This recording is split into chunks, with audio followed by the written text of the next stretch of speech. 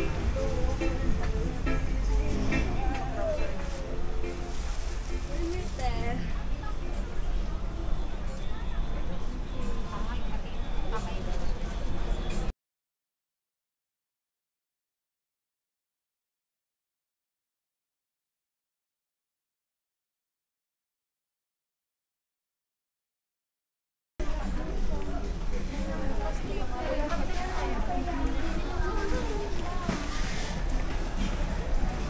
Nag-report pa ako dito.